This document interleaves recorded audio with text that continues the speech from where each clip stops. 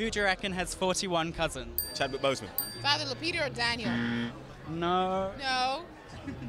Michael? No. Chadwick? yeah, it's Chadwick. It's either Ryan or Chadwick. It's Chadwick. Well done.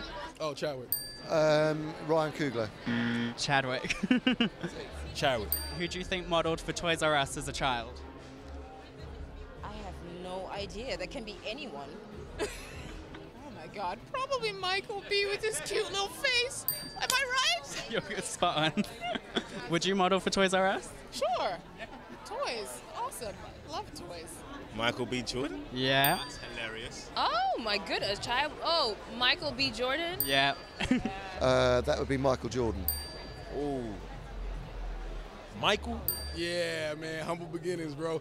Uh, nah, it was. Uh, I started out modeling when I was younger. Before I even got into acting at all, that was kind of like my segue into the industry. So yeah, I started super young. Toys R Us was definitely one of them. Who used to play squash professionally? I don't know. Martin Freeman. It, it would have to be one of the Brits. Am I close? Yeah. So it would. It would. Maybe it's Andy. Then then it's Martin. Martin Freeman. Who was named People's Most Beautiful Person in 2014? Lupita. Lapia. Yeah. Andy Serkis. no, no. Close. Um, um, eh, I would say Lupita. Lupita. That's cheating.